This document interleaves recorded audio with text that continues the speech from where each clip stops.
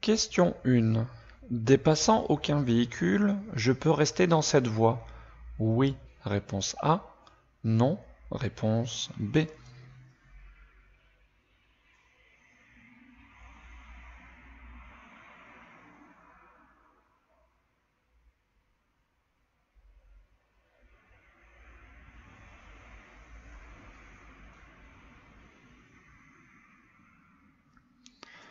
Donc ici nous sommes sur une autoroute ou une voie rapide, donc on a trois voies de circulation. Alors quand on dépasse aucun véhicule, il faut toujours rouler le plus à droite possible. C'est une obligation. Donc ici c'est précisé dans la question que je dépasse aucun véhicule, donc c'est-à-dire qu'il n'y a aucun véhicule qui se trouve sur ma droite. Donc je dois dès que c'est possible me replacer dans la voie la plus à droite.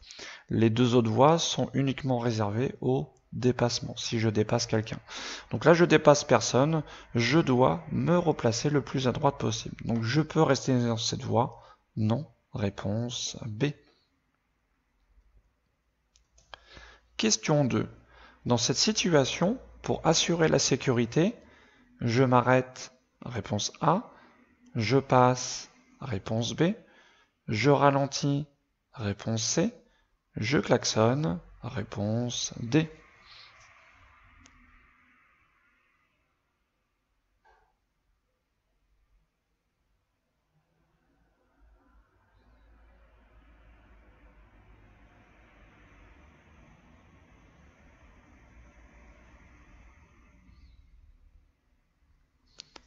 Alors ici nous arrivons à une intersection gérée par un feu tricolore.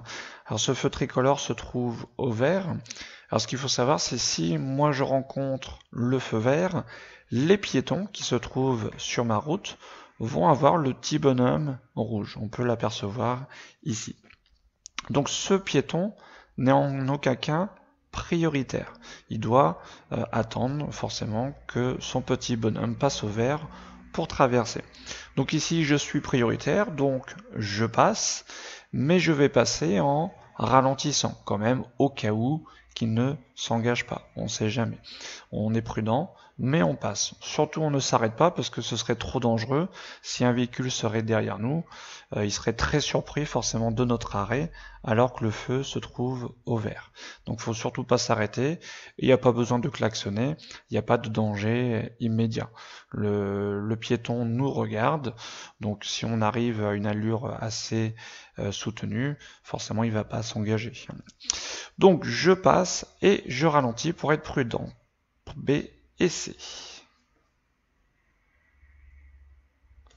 Question 3. Dans ces conditions, le risque d'aquaplaning est très élevé. Oui, réponse A. Non, réponse B. Je dois au préalable réduire très fortement mon allure. Oui, réponse C.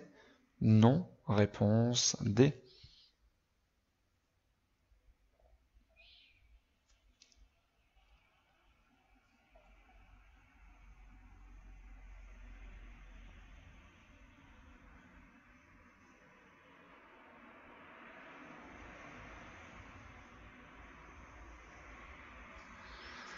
Alors l'aquaplaning, qu'est-ce que c'est? Donc normalement quand on roule, les roues de la voiture, surtout les pneus, donc touchent le sol.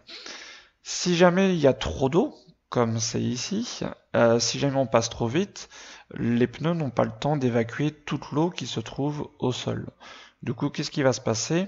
Le pneu va se soulever et va euh, donc glisser sur l'eau. Un petit peu le même phénomène qu'un bateau. Mais le problème d'un bateau, c'est que on n'a pas vraiment de contrôle sur la trajectoire. On glisse et puis on attend. Un bateau, ça a un gouvernail, chose que n'a pas forcément une voiture. Donc ici, forcément, il y a beaucoup d'eau. Vous voyez, le véhicule passe, il y a beaucoup de projections. Donc le risque d'aquaplaning est forcément très élevé. Donc réponse A. Et forcément, au préalable, c'est-à-dire avant, je dois réduire fortement mon allure pour passer vraiment au ralenti, justement pour éviter cet aquaplaning. Donc bonne réponse A et C. Question 4. Lors du remplissage du réservoir de carburant, j'arrête le remplissage dès la première coupure du pistolet Oui, réponse A. Non, réponse B.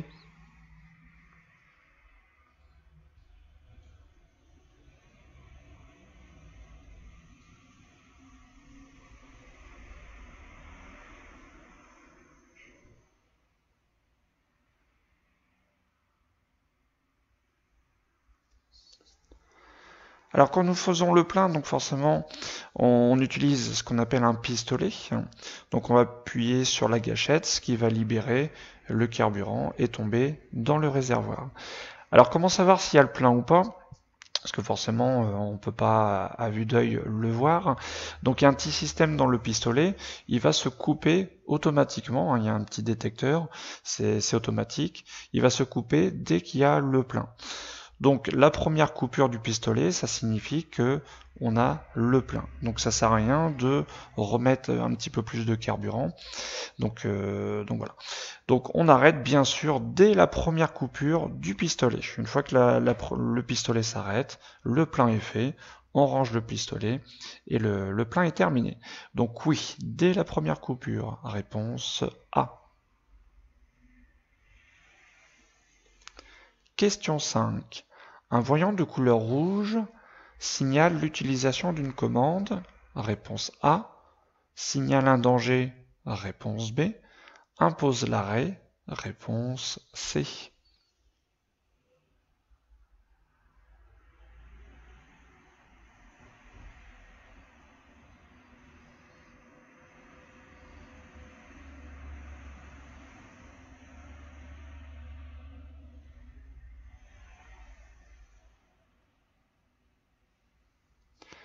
Alors un voyant de couleur rouge, qu'est-ce que ça signifie?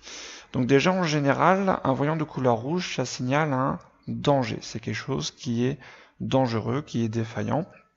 Donc euh, comme c'est dangereux, forcément il va falloir s'arrêter. L'utilisation du commande, ce n'est pas un voyant de couleur rouge, hein, c'est une autre couleur, éventuellement, donc euh, vert, euh, éventuellement. Mais voilà, un voyant de couleur rouge, ça signale un danger, et comme c'est dangereux, forcément il faut s'arrêter. Donc bonne réponse, B et C.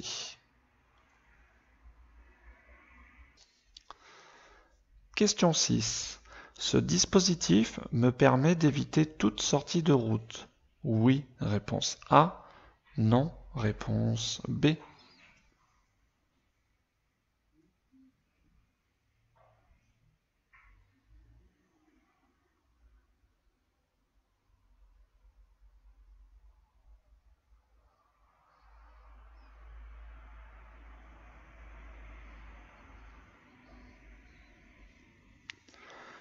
Alors, ce dispositif, qu'est-ce que c'est? Donc, on appelle ça les chaînes à neige.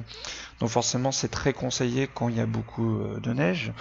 Alors, par contre, est-ce que ce dispositif me permet d'éviter toute sortie de route? C'est-à-dire, avec ce dispositif, je peux rouler à n'importe quelle allure, ma voiture va forcément tenir la route.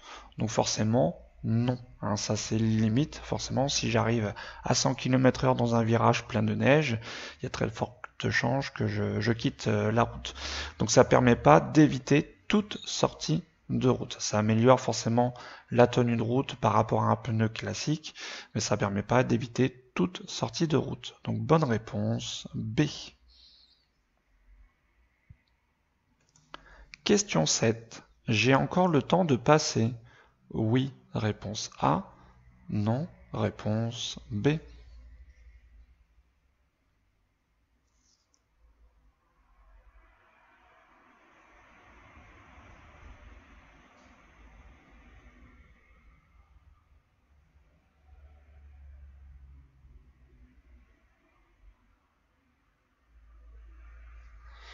Donc ici nous arrivons face à un passage à niveau, donc c'est un signal automatique, on a des demi-barrières plus éventuellement des feux rouges. Donc ce qu'il faut savoir c'est dès l'instant que le feu rouge clignote et qu'il y a une sonnerie et que les barrières s'abaissent, il faut s'arrêter. Même si là on pourrait se dire euh, les barrières sont pas encore euh, baissées complètement, je pourrais passer. Donc non, dès que les feux rouges clignotent, on doit s'arrêter. C'est beaucoup trop dangereux, il y a beaucoup trop d'accidents à, des passages à niveau comme ça. Donc impérativement, dès qu'on a un feu rouge, on s'arrête. Donc je n'ai pas encore le temps de passer. Réponse B. Question 8. Je peux ajouter du liquide de refroidissement lorsque le moteur est froid? Oui, réponse A. Non, réponse B. Lorsque le moteur est chaud Oui, réponse C. Non, réponse D.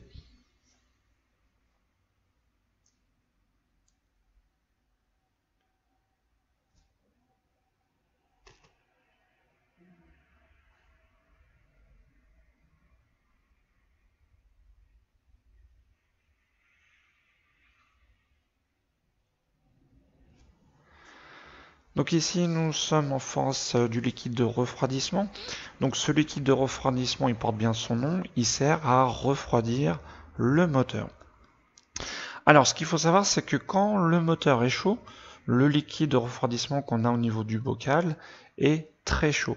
C'est à peu près dans les 90 degrés. Et le problème avec le bouchon, donc c'est vraiment très bien fermé. Donc ça fonctionne un petit peu comme une cocotte minute. Alors une cocotte minute, si c'est froid, donc vous ouvrez euh, le couvercle, il n'y a pas de souci. Si par contre vous fermez le couvercle et vous faites euh, chauffer euh, ce qu'il y a à l'intérieur, donc avec la température, ça va monter en pression. Et forcément, si vous ouvrez, si vous ouvrez tout d'un coup le couvercle, toute la vapeur chaude va s'évaporer très rapidement. Donc c'est exactement le même principe pour ce bocal du liquide de refroidissement. Donc si jamais on dévisse le bouchon lorsque le moteur est chaud, donc toute la pression va s'éjecter euh, très rapidement et c'est de la vapeur très chaude. Donc on risque de se brûler. Donc lorsque le moteur est froid, par contre, donc voilà, là il n'y a pas de souci, il n'y a pas de pression, il n'y a pas de chaleur, donc je peux ouvrir ce bouchon et le remplir, il n'y a aucun souci. Par contre, lorsque le moteur est chaud, comme on vient de le voir, c'est très dangereux, on risque de se brûler. Donc bonne réponse. Donc lorsque le moteur est froid, oui, et pas lorsque le moteur est chaud. Donc A et D. Question 9. Dans cette situation, je peux utiliser mes feux de position. Oui, réponse A. Non, réponse B.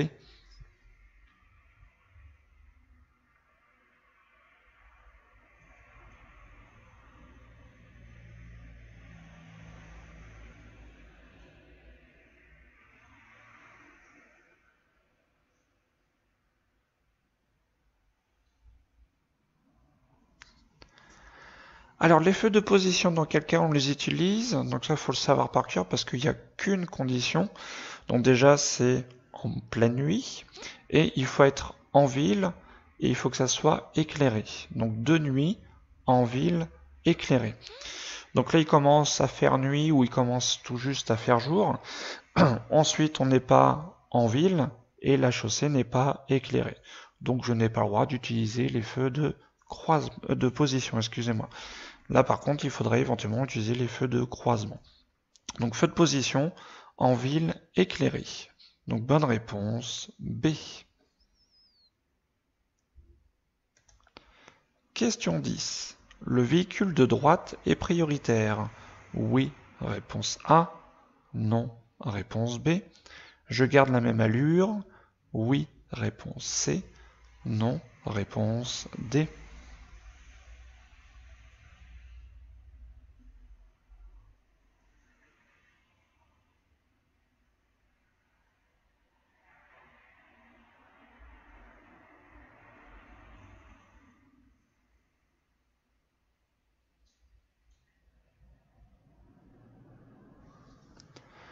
Alors ce véhicule donc de droite est en stationnement ou à l'arrêt.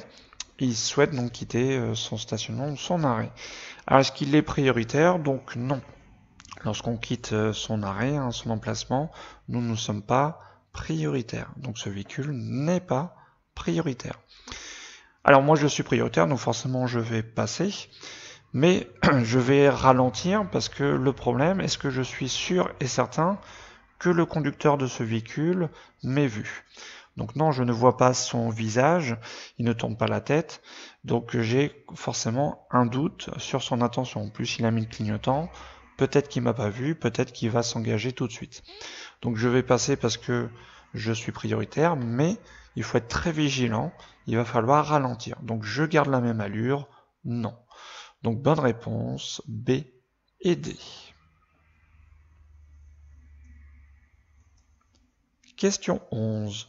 Au sens giratoire, je pourrais prendre la première sortie, réponse A, prendre la deuxième sortie, réponse B, prendre la direction de Caen, réponse C, faire demi-tour, réponse D.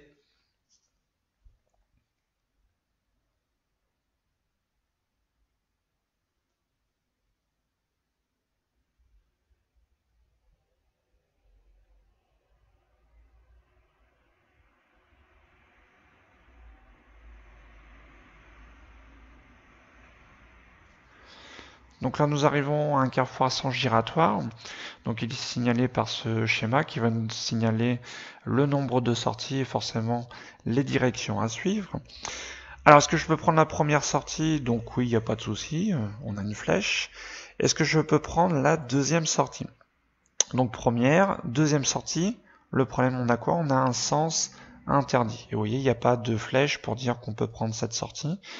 Donc cette sortie, en fait, il n'y a que des véhicules qui peuvent entrer dans le giratoire. On ne peut pas en sortir.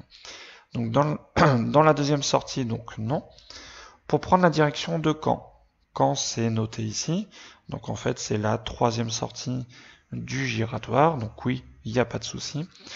Et je pourrais aussi faire forcément demi-tour. Un rond-point, forcément, on peut faire le nombre de tours qu'on veut. Alors forcément, c'est coupé ici. Mais ça, c'est coupé pour dire que la dernière sortie, entre guillemets, se trouve ici. Mais voilà, tout le monde sait très bien qu'un rond-point, on peut faire demi-tour. Donc, bonne réponse, A, C et D. Question 12. Je dois utiliser l'avertisseur sonore, réponse A, les feux de détresse, réponse B.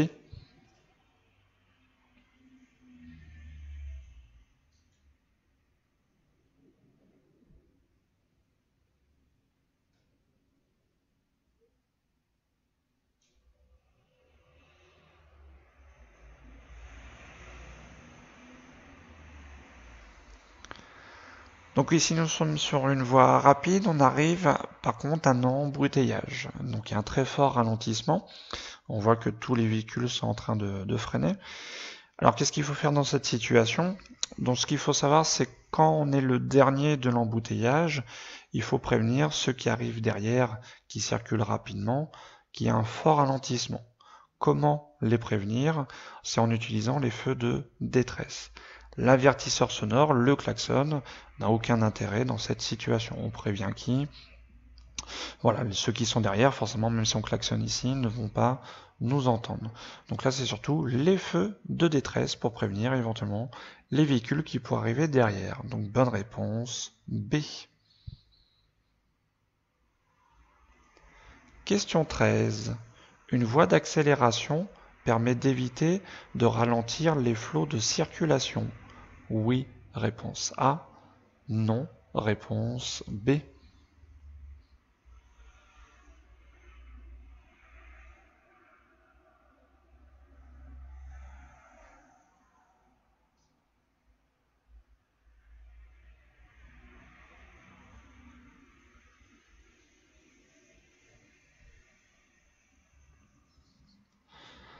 Alors une voie d'accélération ou voie d'insertion, hein, on a les deux mêmes noms. Alors qu'est-ce que ça permet? Donc ça permet déjà de s'engager sur les voies rapides ou sur les autoroutes.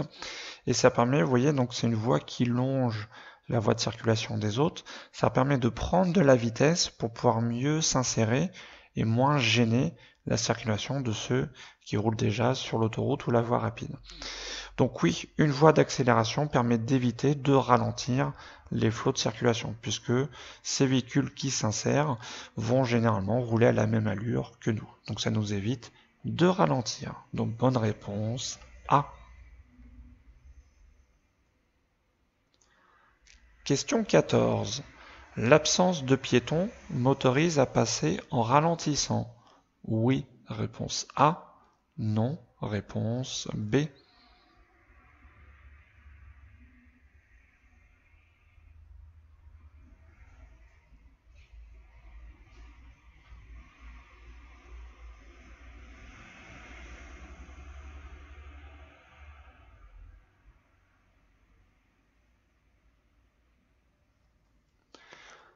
Donc ici nous arrivons à une intersection, donc gérée par euh, des feux tricolores, et on a un passage pour piétons.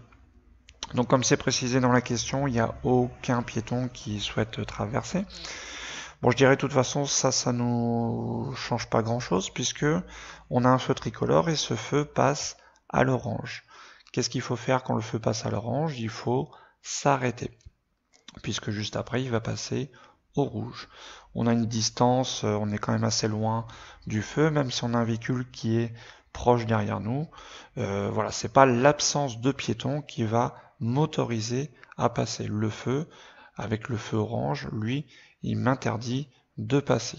Donc bonne réponse B.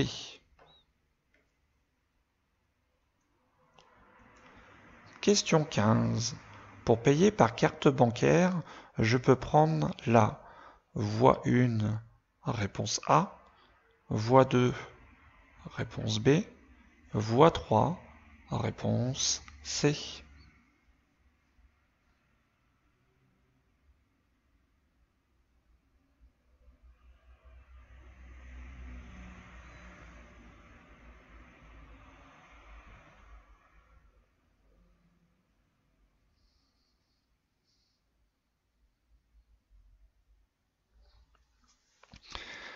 Alors pour savoir, donc là on arrive à un péage hein, sur euh, autoroute.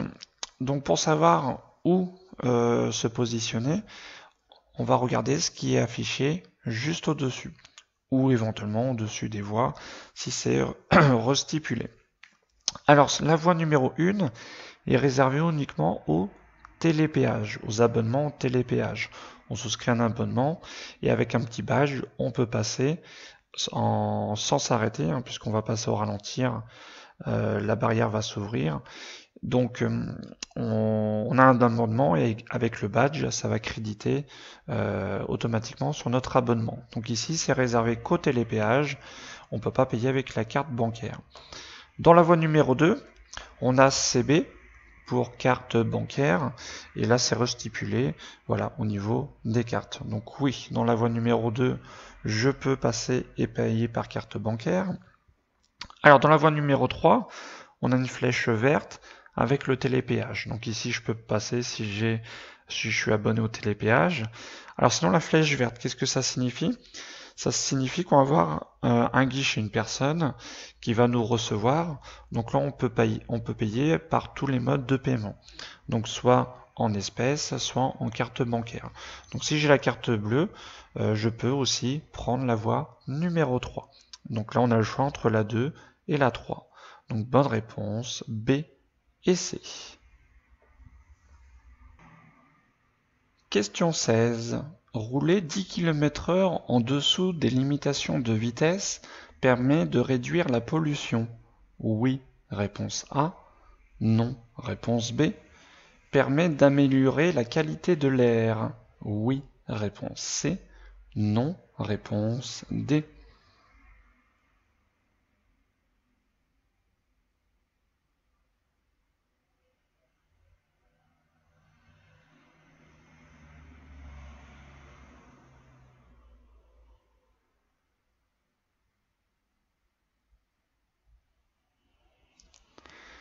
Alors si je roule 10 km h en dessous des limitations de vitesse, donc oui, je vais euh, consommer moins de carburant. Et du coup, si je consomme moins de carburant, je vais rejeter euh, moins de pollution. Donc ça permet de réduire forcément la pollution. Donc oui, réponse A. Et du coup, si on réduit la pollution, on améliore la qualité de l'air, forcément. Donc bonne réponse A et C. Question 17. Je tourne à gauche, je passe. Le premier Réponse A. Le deuxième Réponse B. Le troisième, réponse C.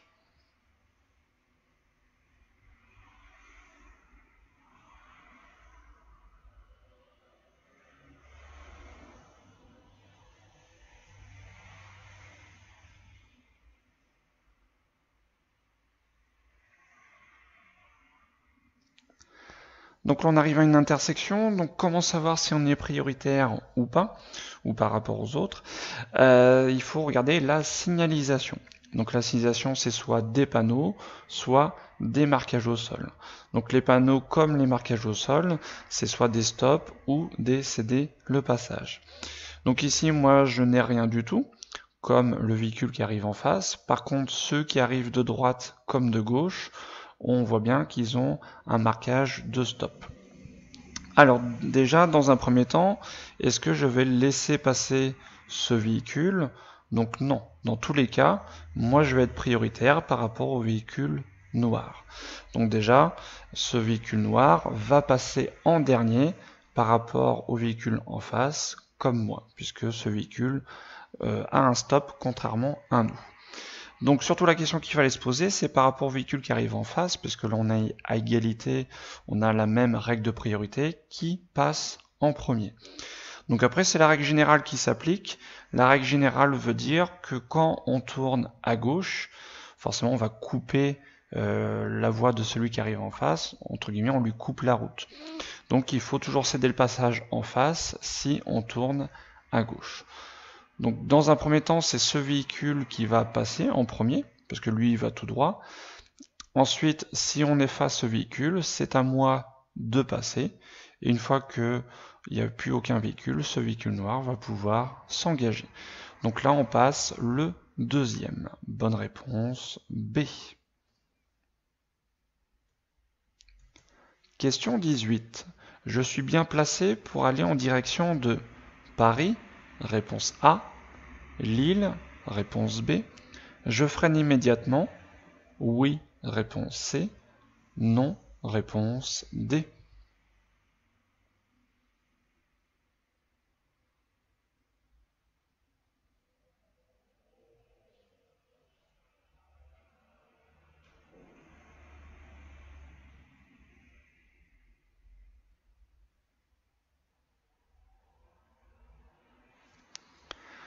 Alors, je suis bien placé pour aller en quelle direction? Donc ça, c'est assez simple. On a une voie et on va regarder juste au-dessus sur quelle flèche euh, nous correspond. Donc cette flèche, c'est celle-ci. Et on va regarder forcément les villes inscrites juste au-dessus. Alors, est-ce qu'on a inscrit Paris? Donc on peut lire, il n'y a, euh, a pas Paris sur ce panneau. Pour aller en, en direction de Paris, donc c'est inscrit ici, il aurait fallu être sur ces deux voies les flèches signalent ces deux voies-là. Donc je ne suis mal positionné pour aller en direction de Paris. Par contre, pour aller en direction de Lille, je suis bien positionné. Donc bonne réponse B. Je freine immédiatement. Donc euh, déjà, il n'y a pas forcément euh, de limitation de vitesse, quelque chose qui va m'obliger à ralentir pour l'instant, puisqu'on rencontre de nouveau les mêmes panneaux plus loin. Donc entre guillemets, la sortie, la bifurcation est pas tout de suite. Donc il n'y a pas d'obligation de freiner immédiatement. Et surtout en plus, si on regarde derrière nous, on a un camion qui est assez proche. Donc le fait de freiner tout de suite peut être forcément dangereux par rapport au véhicule derrière nous. Donc je ne freine pas immédiatement. Donc bonne réponse B et D. Question 19. Mon véhicule est correctement stationné? Oui, réponse A. Non, réponse B.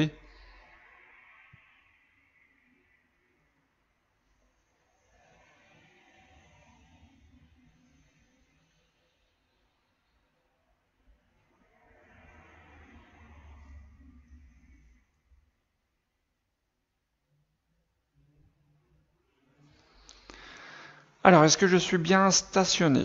Donc la réponse c'est non pour deux raisons. Déjà la plus flagrante, on est sur une place pour handicapés. Donc on a le panneau qui nous précise arrêt et stationnement, sauf si euh, on a la petite carte euh, d'handicapé. Et on a euh, le marquage au sol, même s'il n'est pas très voyant, avec le petit signe. Donc déjà, pour cette raison, je suis mal stationné. Et deuxième raison, donc là on est en agglomération, on est en ville, et en ville on stationne toujours du côté droit, c'est-à-dire du sens de la circulation. Là, on peut voir qu'on est en double sens, on a un véhicule garé dans l'autre sens, on a bien ce panneau qui précise qu'il y a un sens de circulation de ce côté-là. Donc déjà aussi, on est garé du mauvais côté. Donc pour, ce, pour ces deux raisons, on est mal stationné. Donc bonne réponse B. Question 20. Ce panneau jaune annonce une déviation Réponse A un itinéraire bis, réponse B, un, itinéraire de substitution, réponse C.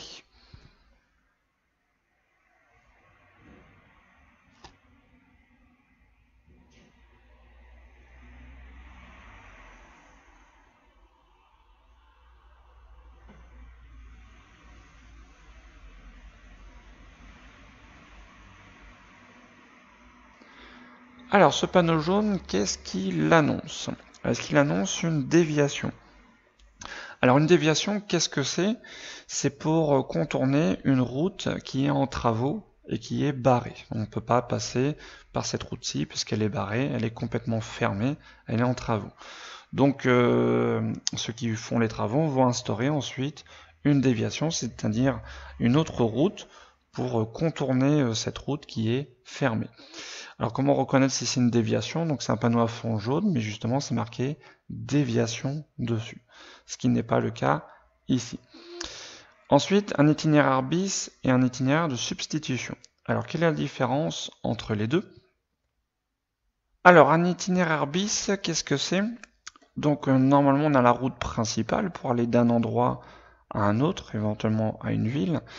Et euh, par exemple, donc on entend à la radio, euh, aux infos, qu'il y a une zone de bouchon. Donc un itinéraire bis, ça va être une autre route qui va permettre de contourner cette route qui est embouteillée. Donc généralement c'est une route, euh, l'itinéraire bis c'est une route plus petite. Donc et généralement on fait aussi plus de kilomètres. Mais forcément ça va être plus rapide si on évite les bouchons. Donc un itinéraire bis sert à contourner une route. L'itinéraire de substitution, donc c'est les panneaux S avec un numéro.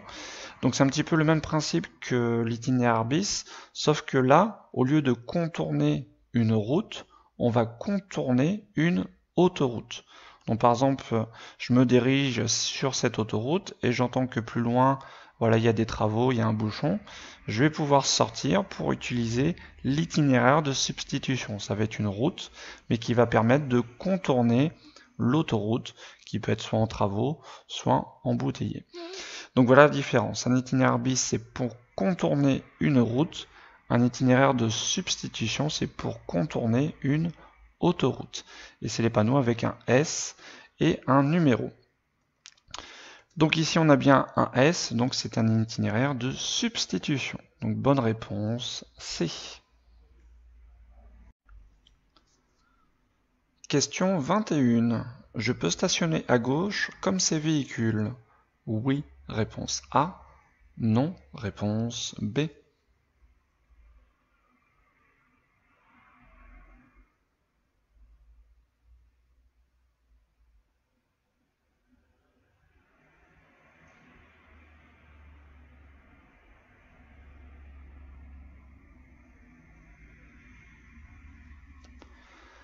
Alors ici nous sommes en agglomération.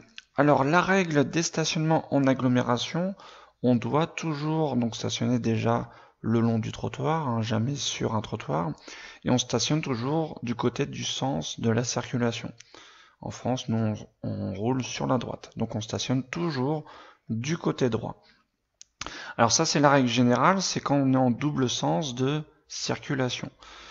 Par contre, si on est en sens unique, donc là, on peut stationner éventuellement des deux côtés. Donc la question qui va se poser ici, est-ce qu'on était en sens unique?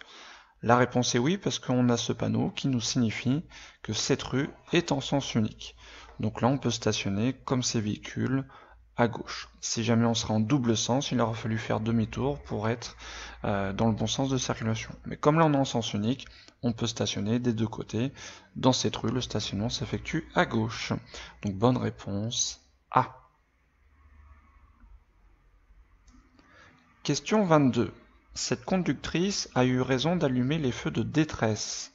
Oui, réponse A. Non, réponse B de mettre le triangle de présignalisation Oui, réponse C. Non, réponse D.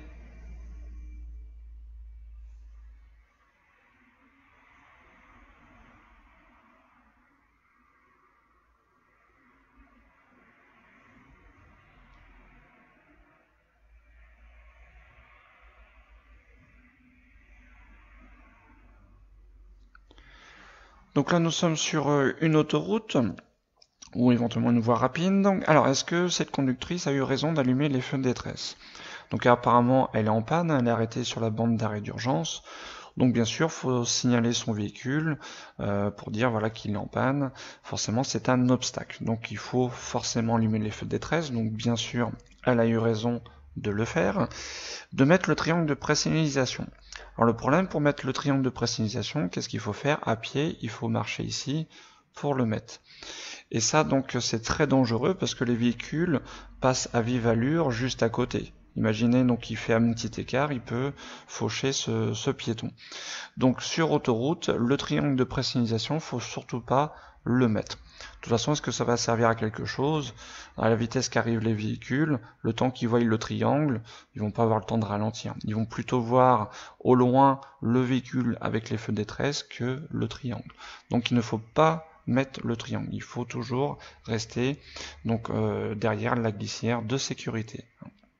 Donc sur autoroute, il ne faut pas mettre le triangle. Donc bonne réponse A et D. Question 23. En période probatoire, après ce panneau, je pourrais rouler à 50 km h réponse A, 70 km h réponse B, 80 km h réponse C, 90 km h réponse D.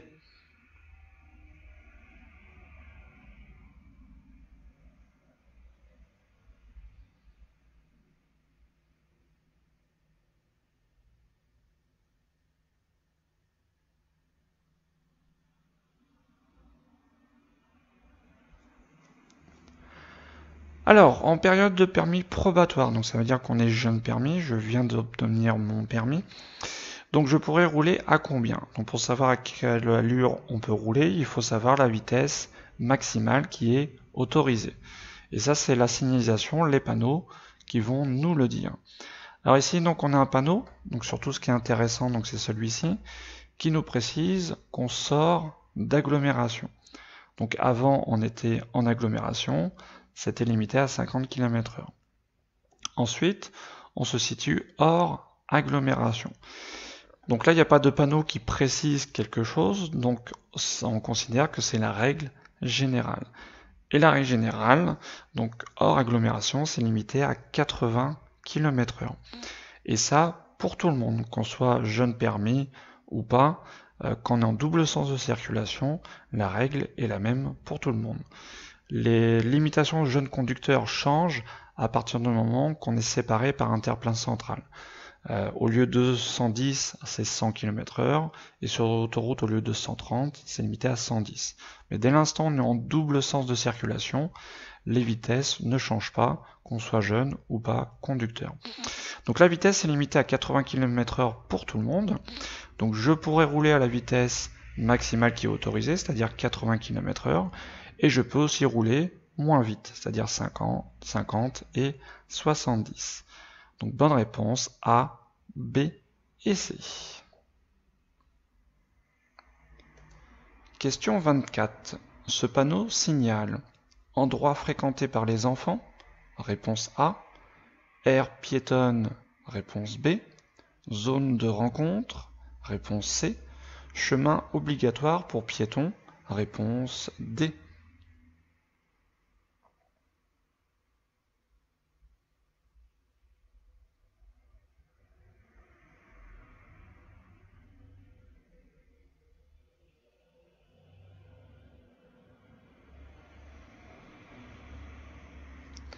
Alors ce panneau signifie donc aire piétonne. Endroit fréquenté par les enfants, donc c'est le panneau de danger triangulaire. Zone de rencontre, donc c'est un panneau où figurent euh, donc euh, des piétons, etc. Et on a un petit panneau 20 km heure. Et chemin obligatoire pour piétons, ça c'est un panneau rond. Hein. Les panneaux d'obligation, c'est les panneaux ronds à fond bleu. Donc ce panneau, c'est air piétonne. Bonne réponse B. Question 25. Je peux faire un arrêt sur cet emplacement? Oui. Réponse A. Non. Réponse B. Je peux y stationner? Oui. Réponse C. Non. Réponse D.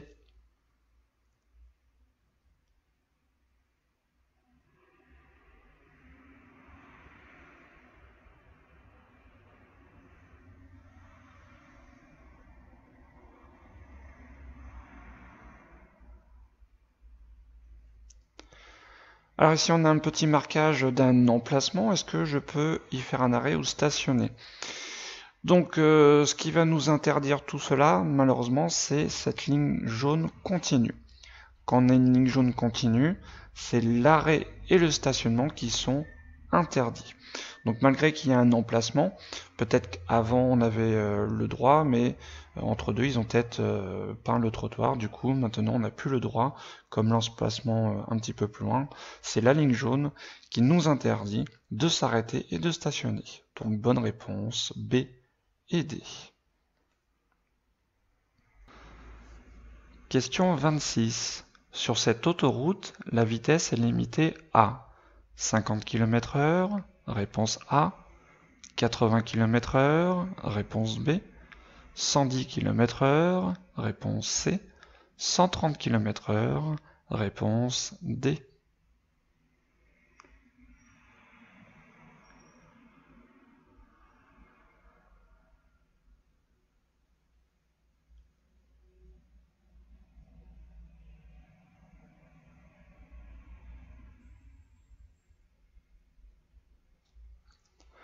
Alors ici, on nous trouvons face à un panneau qui nous stipule les limitations de vitesse euh, donc dans notre pays, en France. Donc ça stipule que en agglomération, c'est limité à 50 km heure, hors agglomération, c'est limité à 80 km heure, et sur autoroute, c'est limité à 130 km heure. Donc on nous stipule qu'on est sur une autoroute. Sur cette autoroute, la vitesse est limitée. Donc par beau temps, c'est limité à 130 km heure comme c'est précisé sur ce panneau. Donc 130 km h bonne réponse D. Question 27. Après ce panneau, la vitesse est limitée à 110 km h Oui, réponse A. Non, réponse B.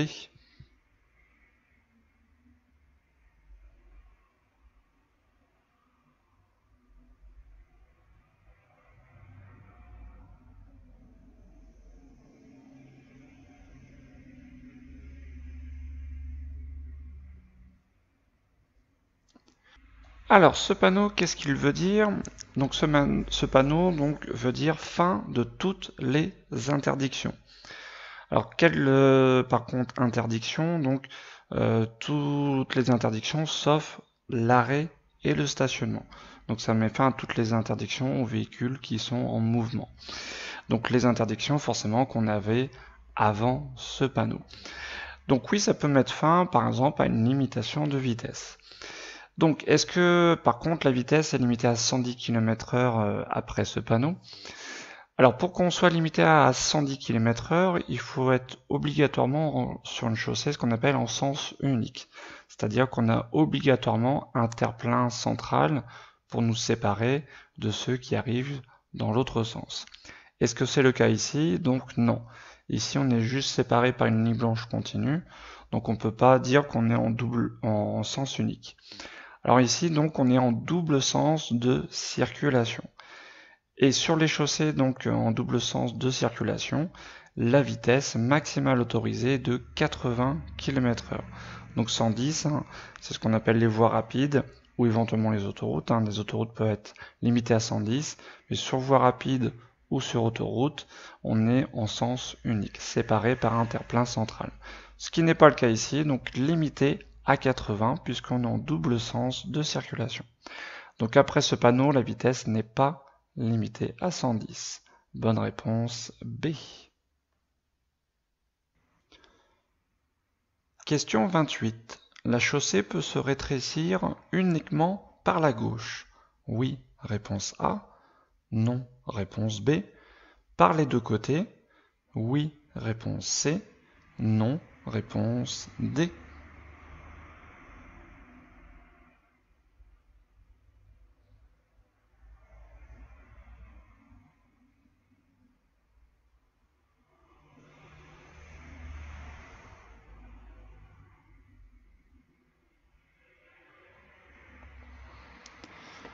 Alors ce panneau de danger euh, qui a fond jaune, donc ça veut dire un panneau temporaire, donc annonce une chaussée rétrécie. Alors la question voilà, qui, est, posée, c'est rétrécie par contre de quel côté? Alors le problème de ce panneau, c'est qu'on ne sait pas de quel côté. Ça peut se rétrécir que par la gauche, ça peut se rétrécir que par la droite, ou ça peut se rétrécir aussi des deux côtés en même temps. Donc on ne sait pas par rapport ce panneau. Donc ça peut se rétrécir, oui, uniquement que par la gauche, comme des deux côtés. Donc bonne réponse A et C. Question 29. Le constat amiable est obligatoire à bord d'un véhicule Oui, réponse A. Non, réponse B.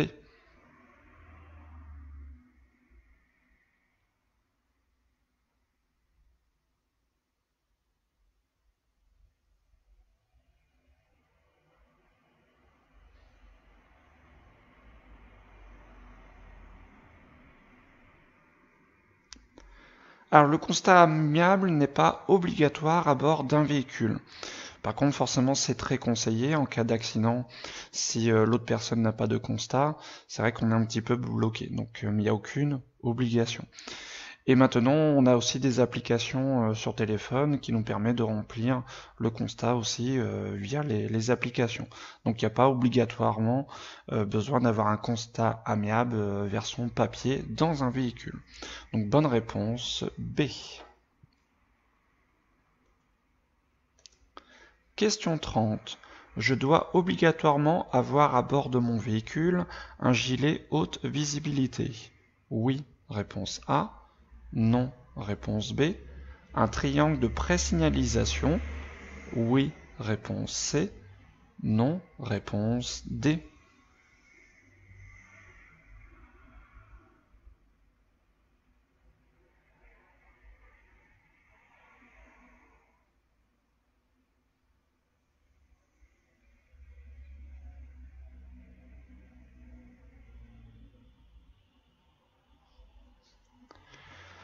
Alors le gilet haute visibilité, bien sûr, donc est obligatoire euh, donc à bord d'un véhicule. Alors il est conseillé hein, de ne pas le mettre dans le coffre, hein, mais euh, enfin il est, conseillé obligatoirement euh, à l'intérieur du véhicule pour pouvoir le mettre avant de descendre du véhicule. Et le triangle est bien sûr aussi un élément obligatoire dans un véhicule. Mais là par contre on peut le mettre dans le coffre. Donc oui les deux sont obligatoires. Bonne réponse A et C. Question 31. À 20 km, je pourrais trouver un restaurant, réponse A, une station-service, réponse B, un distributeur de billets, réponse C, une aire de jeu pour enfants, réponse D.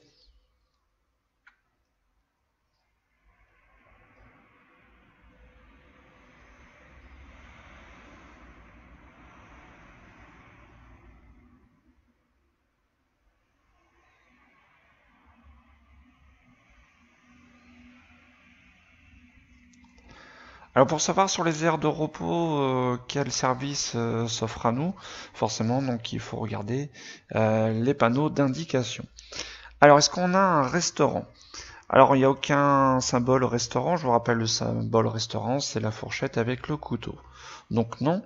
Une station service donc oui par rapport à ce symbole. Un distributeur de billets oui par ce symbole-ci Une aire de jeu pour enfants, donc euh, non, il n'y en a pas. Hein, c'est les petits enfants qui euh, sur la petite euh, balançoire. Ça c'est le symbole. Donc là on a juste une station-service et un distributeur de billets. Réponse B et C. Question 32. En cas de chargement important, je dois diminuer la pression des pneumatiques? Réponse A. Augmenter la pression des pneumatiques. Réponse B. Régler la hauteur des feux avant. Réponse C.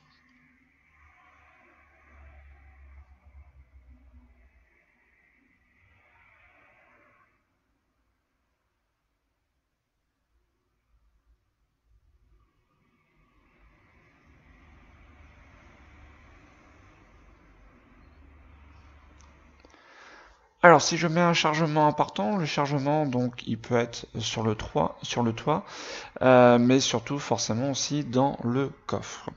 Donc qu'est-ce qui va se passer? C'est surtout l'arrière du véhicule qui va porter surtout euh, ce chargement important.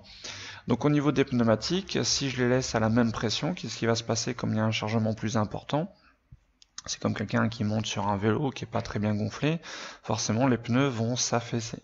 Si les pneus donc euh, sont, sont, plus euh, comprimés, forcément on a une moins bonne tenue de route, ce qui est forcément plus dangereux.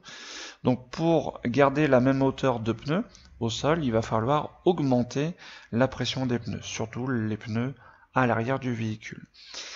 Alors si l'arrière euh, du véhicule donc euh, se penche un petit peu vers le bas, qu'est-ce qui va se passer au niveau du devant? Lui, il va se soulever. Forcément, c'est comme une balance. Hein. Si l'arrière euh, s'affaisse, le devant se soulève. Et du coup, les feux à l'avant ne vont pas éclairer à la bonne hauteur. Si mon devant se légèrement se soulève, les, les feux vont éclairer un petit peu trop haut. Donc moi je vais bien y voir, mais par contre je vais éblouir ceux qui arrivent en face.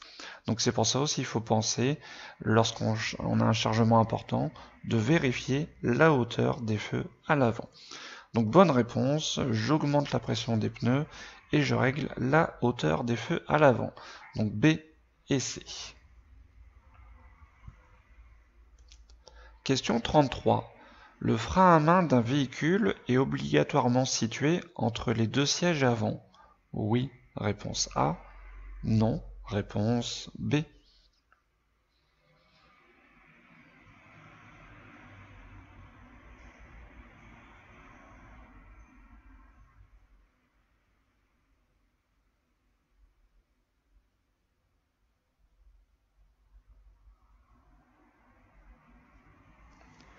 Alors le frein à main, donc euh, généralement forcément il se trouve entre les deux sièges à l'avant d'un véhicule, mais sur certains véhicules, on... alors forcément il faut qu'il soit accessible au conducteur, donc généralement il est à droite du conducteur, mais le frein à main sur certains véhicules est euh, au niveau du côté de la portière. Donc, euh, donc non, et des fois on a aussi des freins à main automatiques. Donc déjà il n'y a, pas du tout de, frein. Mais sinon il peut être aussi côté portière euh, du conducteur. Donc non, il n'est pas toujours situé entre les deux sièges avant. Donc réponse B. Question 34. Je dois faire un contrôle technique à ma voiture qui va avoir l'âge de 6 mois, réponse A, 1 an, Réponse B. 2 ans. Réponse C. 4 ans. Réponse D.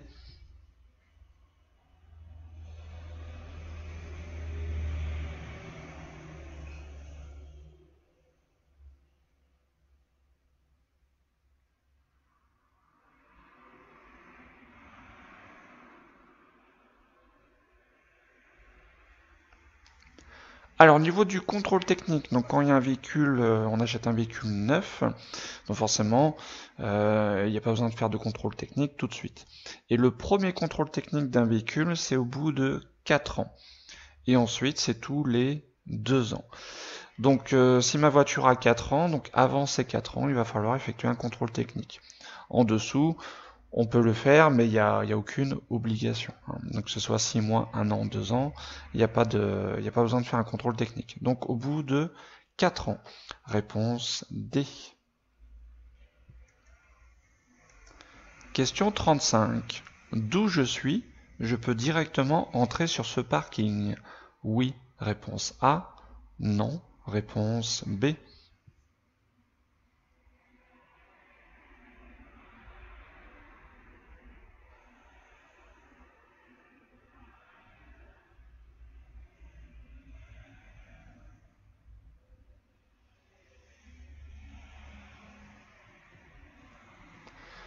Alors ici nous arrivons à une intersection et la question est-ce que je peux entrer d'où on est directement sur ce parking? Alors on a une signalisation donc avec des sens interdits et celui-ci un autre sens interdit mais qui nous précise que le sens interdit de ce panneau n'est pas applicable au panneau mais seulement à 10 mètres. Donc on voit bien que 10 mètres plus loin on a un sens interdit. Donc c'est-à-dire que cette rue est en sens unique que à partir d'ici. C'est-à-dire donc euh, entre l'intersection et 10 mètres, on est encore en double sens de circulation. Donc en en double sens de circulation, dans cette zone, je peux forcément aller tout droit pour ensuite entrer sur ce parking. Si par contre les sens interdits auraient été applicables à partir d'ici. Donc là, forcément, j'aurais pas pu entrer euh, dans cette rue. Hein. Mais là, on a un cas un petit peu particulier. Donc on n'est pas en sens unique pendant 10 mètres. Donc pendant 10 mètres, je peux entrer dans cette rue. Donc là, oui, je peux entrer directement sur ce parking. Réponse A. Question 36. Je vais à Brionne, je ressens des signes de fatigue. Je continue en roulant plus vite. Réponse A. Je continue en roulant moins vite. Réponse B. Je m'arrête pour faire une pause. Réponse C.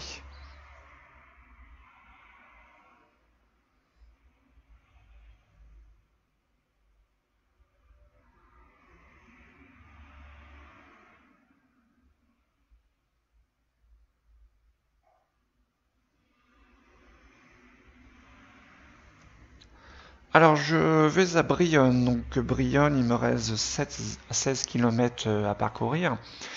Et on nous annonce qu'on ressent des signes de fatigue. Alors quand on est fatigué, qu'est-ce qu'il faut faire? Donc il n'y a pas le choix, il faut s'arrêter pour faire une pause, même s'il reste très peu de, de kilomètres. Donc à savoir que hors agglomération, on fait à peu près 1 km par minute environ. Donc là, il nous reste euh, à peu près encore 16, minutes de conduite. Pendant 16 minutes, j'ai le temps, forcément, malheureusement, de, m'endormir.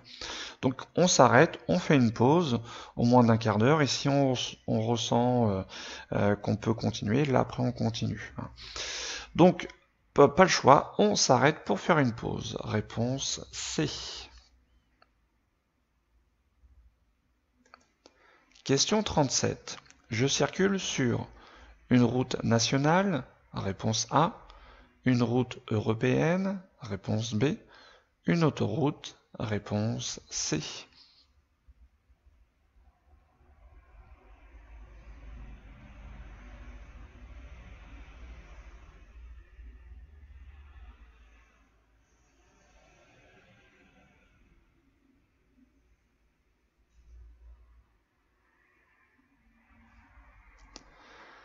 Alors ici, donc, euh, nous arrivons euh, à une euh, sortie, hein, soit d'une voie rapide ou d'une autoroute. Donc au-dessus, on a des panneaux qui nous annoncent les directions, si jamais on sort ou si on continue sur cette route. Donc la question, c'est je circule sur quel type de route Donc le panneau qui va nous concerner, ça va être celui-ci. Celui-ci, c'est pour la sortie. Et pour savoir donc sur euh, quel type de route on circule, on va regarder donc éventuellement la couleur des panneaux, ça peut être un indice, mais surtout on a le nom de, l'itinéraire emprunté. Donc ici on a l'autoroute A84, donc A pour autoroute. Donc on circule bien sur une autoroute, comme le nom confirme aussi, euh, les panneaux à fond bleu. Alors on a le A84 pour l'autoroute 84, mais on a aussi le E. Et le E, qu'est-ce que ça veut dire? Ça veut dire c'est une route européenne. Donc c'est la route européenne numéro 3. Donc on a bien une route européenne et une autoroute. Donc bonne réponse B et C. Question 38. Dans cette situation, je ralentis, réponse A. Je m'écarte d'un mètre, réponse B. Je m'écarte d'un mètre cinquante, réponse C. J'actionne mon clignotant, réponse D.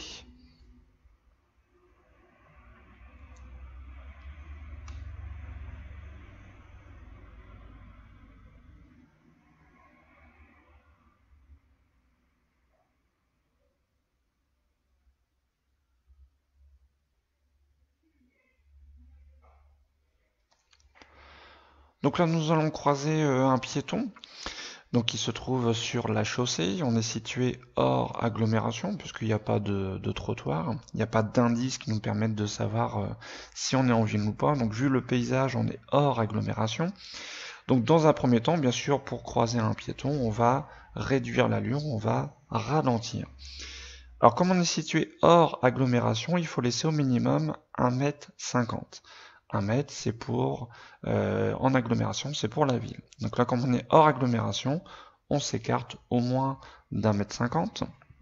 Et comme je fais un écart, bien sûr pour prévenir surtout ceux qui peuvent être derrière moi, j'actionne mon clignotant. Donc bonne réponse A, C et D. Question 39. S'il me manque du liquide de frein, je peux encore freiner doucement. Oui, réponse A. Non, réponse B. Le freinage peut être impossible. Oui, réponse C. Non, réponse D.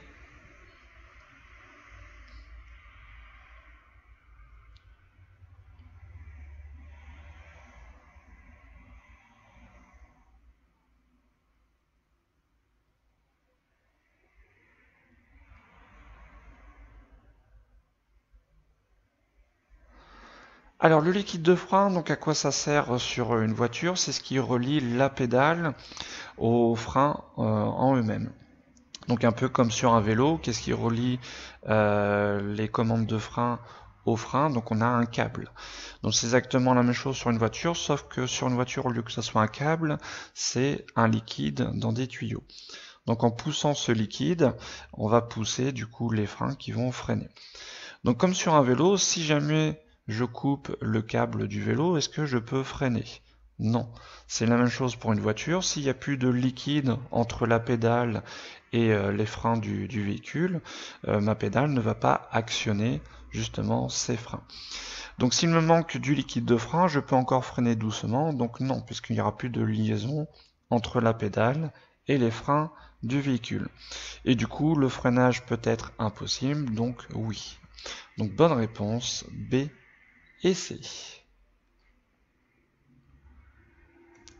Question 40. Le temps de réaction à 50 km h est d'environ 1 seconde, réponse A, 2 secondes, réponse B. La distance d'arrêt à 50 km h est d'environ 25 mètres, réponse C, 33 mètres, réponse D.